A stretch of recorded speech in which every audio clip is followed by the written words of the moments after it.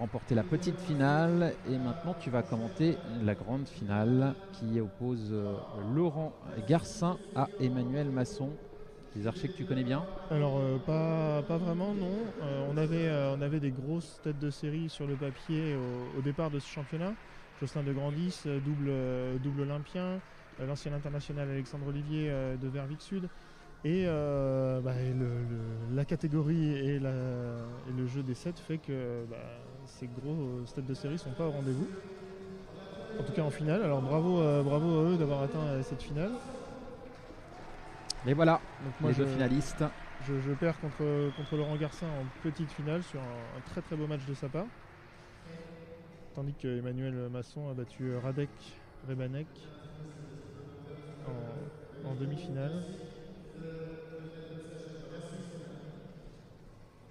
Emmanuel Masson qui avait aussi battu donc Jocelyn de Grandy 6-0 ce matin au, au premier match de la journée.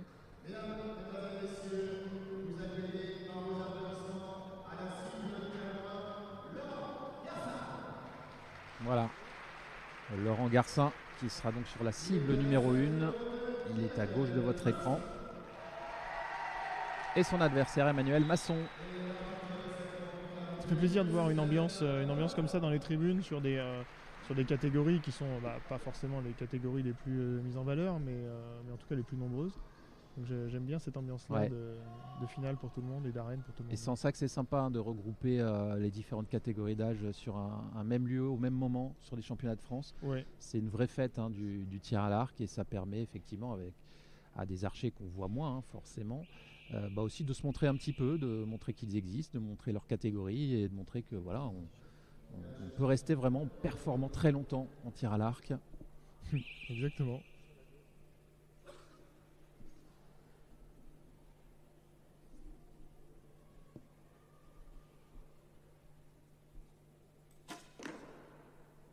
Indice, probablement. On attendra la confirmation.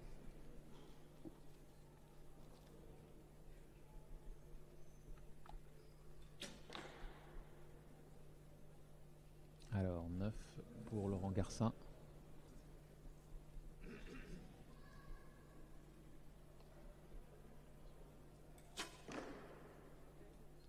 Un 10.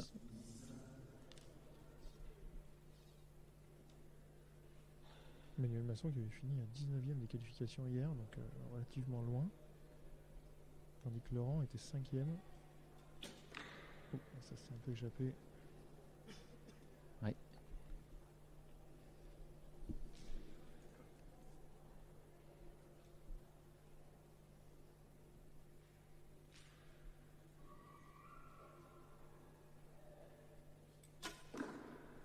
Il y a encore un 10 à droite. Mais une belle volée.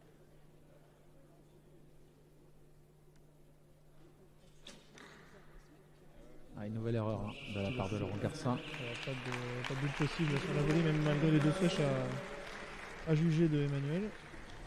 Un petit peu de pression peut-être sur les épaules de, de Laurent. Emmanuel qui sur ses, sur ses précédents matchs, donc euh, battre euh, Jocelyn ou même sur la, sur la, petite finale, sur la demi-finale, pardon, euh, euh, vraiment à l'agnac. On sent que c'est euh, c'est l'événement qui transcende, qui transcende l'archer. Et moi j'aime ces, styles d'attitude qui sont à l'attaque et on voit que même malgré le stress, il, arrive à se surpasser. C'est vraiment beau à voir.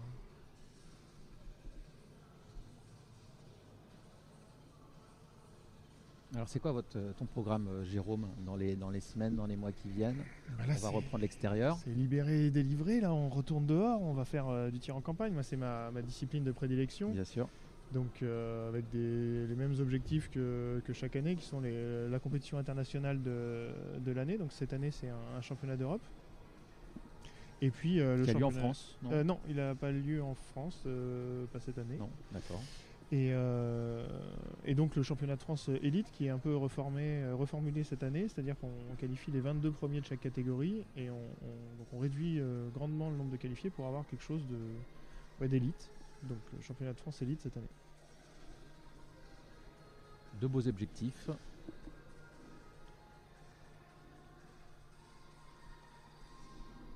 plus, quand on a un pas de tir à la maison, on peut se le permettre. Ouais, On a gagne même pas, j'ai envie de dire, on n'a même pas le droit à l'erreur. Alors je le vois pas comme ça parce que euh, moi le- mon plaisir c'est vraiment m'entraîner et donc euh, le fait de le faire chez moi c'est ça fait partie du ça fait partie de, de- ouais, du plaisir.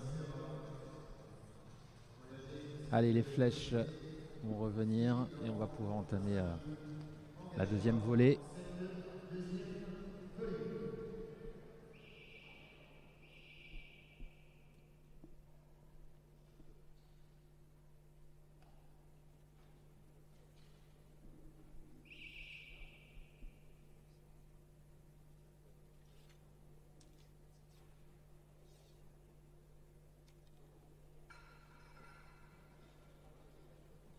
Allez, il faut que Laurent Garcin se remobilise. Voilà, c'est mieux, un 9.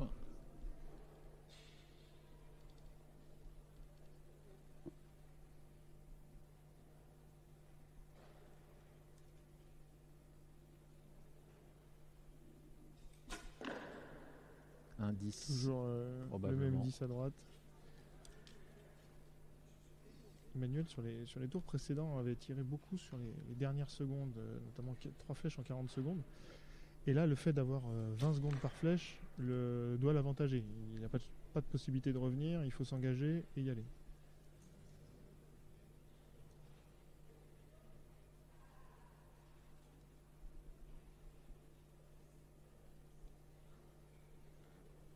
Il suffit que je dise ça il a fait exactement l'opposé. Et c'est 10 quand même. c'est un 10 quand même, ouais.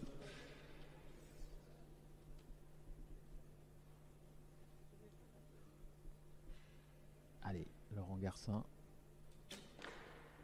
Oui. C'est un 10. Ça y est. Ça y est, il se recentre progressivement. Laurent Garcin. Le temps de euh, s'habituer au, au terrain. Ouais. Alors là, par contre, Le 9. Pas commettre d'erreur pour qu'Emmanuel Masson reporte deux points. Ouh, Ah, et il en commet c'est un d'un. huit. Il faut- C'est un 8. Ça fait effectivement 28 partout. Un point de 7 de chaque côté. 3-1.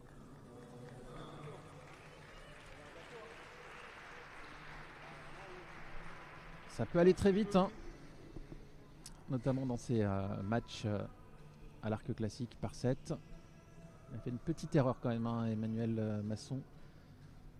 Ouais, je pense que la, pression accumulée des, premières flèches qui, fait, qui a très bien entamé puis très bien continué fait que bah, un moment on de besoin de, soupape entre guillemets si on n'arrive pas à faire le vide là c'est probablement ce qui a dû lui arriver.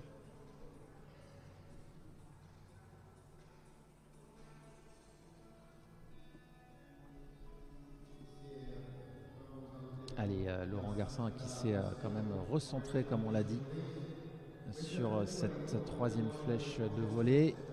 Il est quand même conscient que c'est euh, un peu sur, euh, grâce à la faute de son adversaire qu'il marque un point.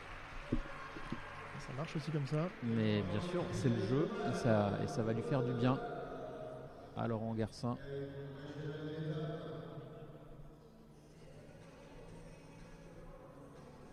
On a des petits médaillés là, dans les tribunes à Vitel.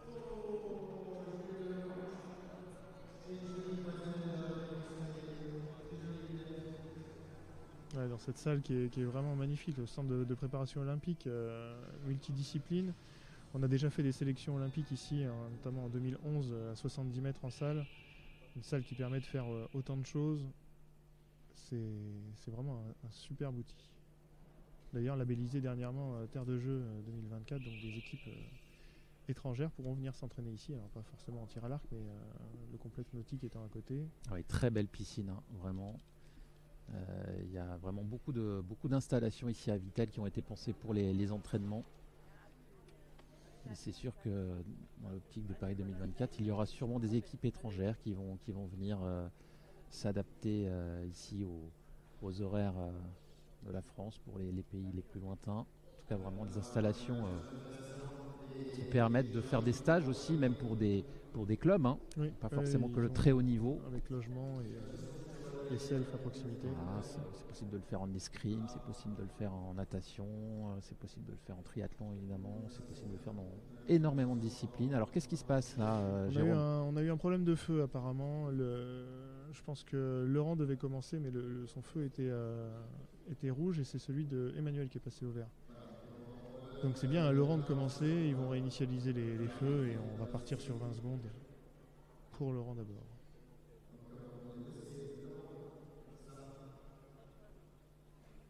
Vous allez à du direct.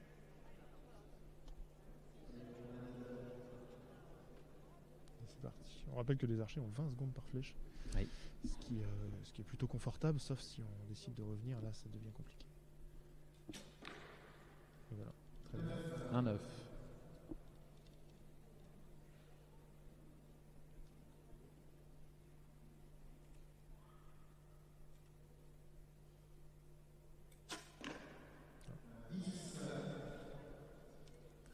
Emmanuel Masson qui continue à maintenir la pression sur son adversaire.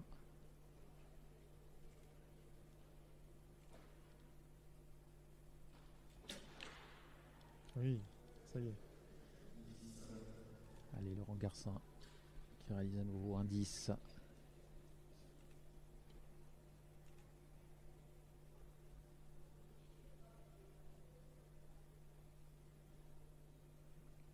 C'est bon. Et ça reste euh, au minimum jaune. C'est un 10. Alors, on voit pas la flèche qui est cachée par euh, celle du dessous. Manuel dans la position du, du chassé du coup, puisque euh, c'est Laurent qui lui met la pression en tirant la, la première flèche et pour l'instant il s'en sort bien puisqu'il est à 20, à 29. Allez, il faut un, un 10 euh, à Emmanuel Masson pour empocher 2 points de 7 supplémentaires. Un 9 lui offrirait un point. Et c'est un 10. Euh, il mène donc 5 à 1. Précis, bravo. Emmanuel Masson.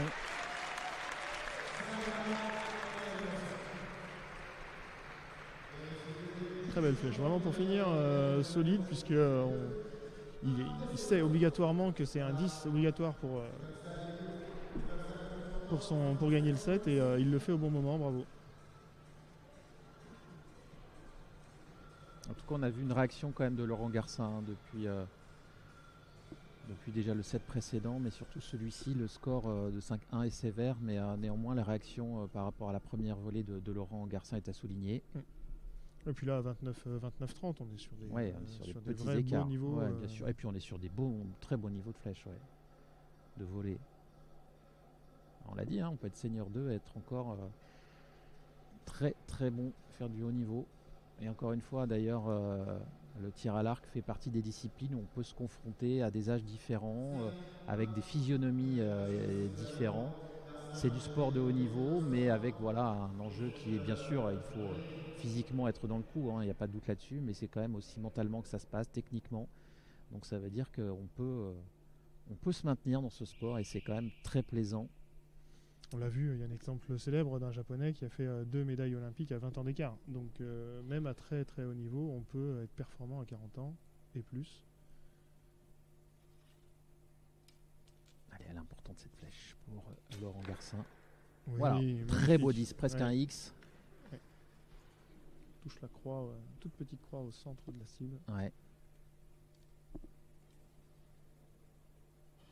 La réaction d'Emmanuel Masson.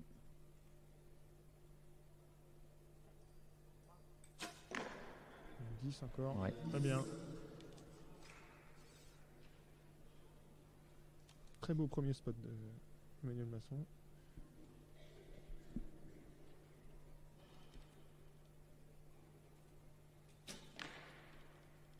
Je pense qu'elle est 10 aussi. Elle doit toucher. Oui, Oui, touche. elle touche le cordon sans problème.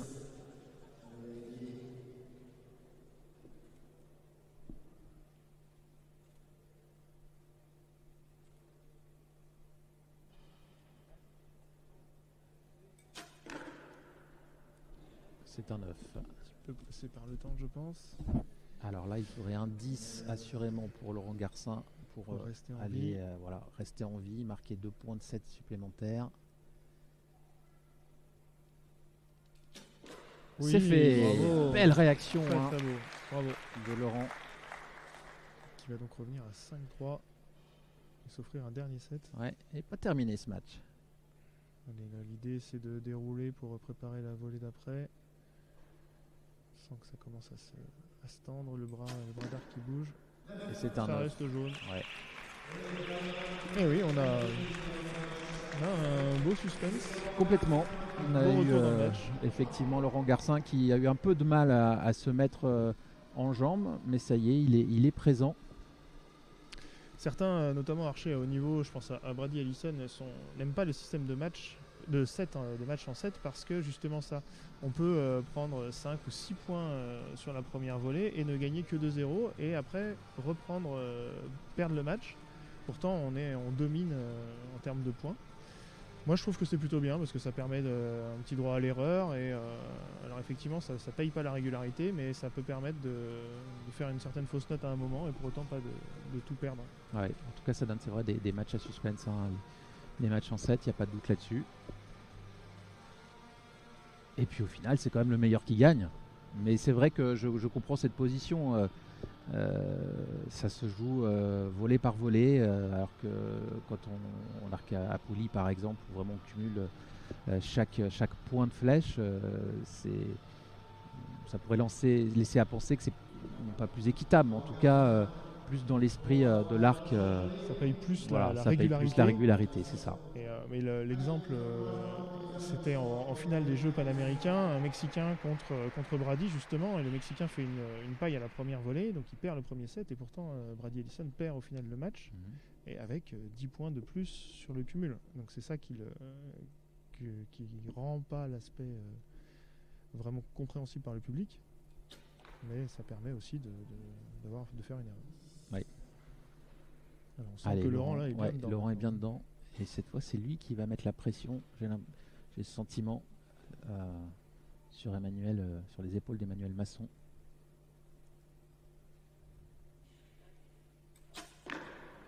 La preuve, la preuve. Là, dans la position de Laurent, c'est euh, de dérouler, toucher le jaune deux fois pour aller chercher le barrage.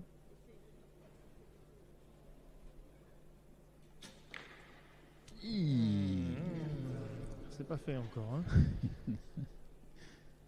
On rappelle qu'à Emmanuel, il suffit d'une égalité pour gagner le match. Donc euh, en se ressaisissant sur les deux suivantes, ça peut encore marcher.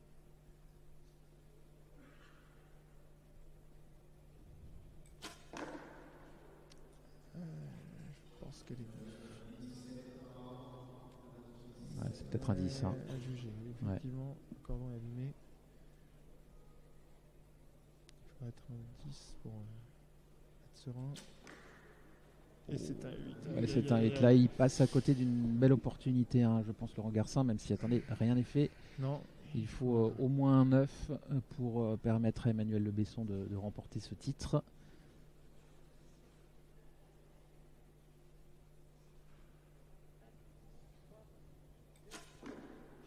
Et c'est un 10, voilà, victoire d'Emmanuel Masson qu'on va tout de suite entendre au micro de Marc.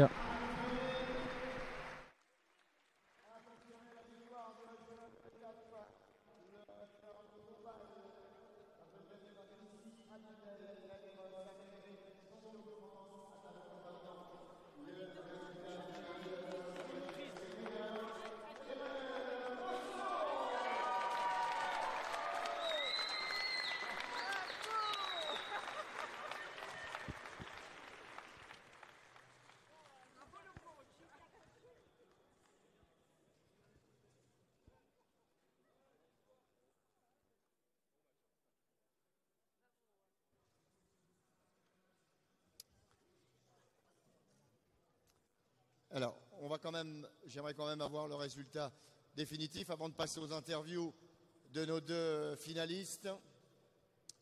C'est bien confirmé, le 6-3 apparemment. C'est tout bon. Messieurs, si vous voulez bien venir à mes côtés, s'il vous plaît.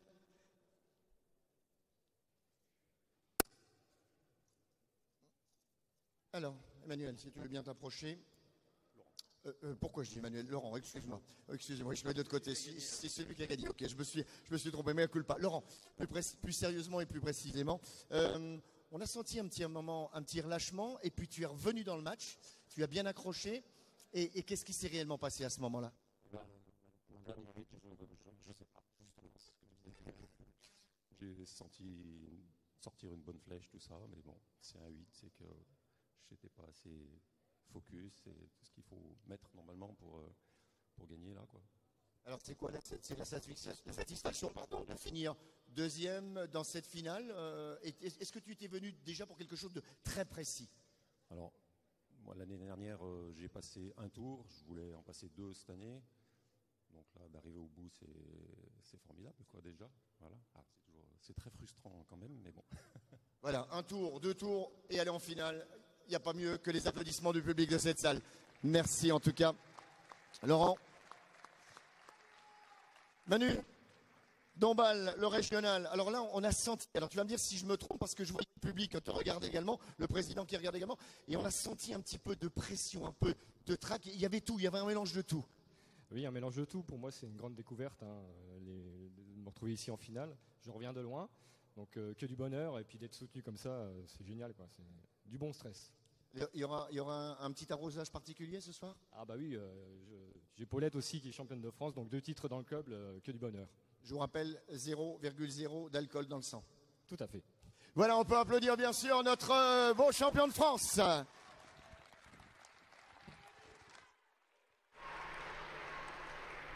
Jérôme, dans quelques instants, nous allons passer euh, cette fois chez les dames à la finale senior 1. Donc, ce sont en fait euh, les femmes âgées de, plus de 21 ans.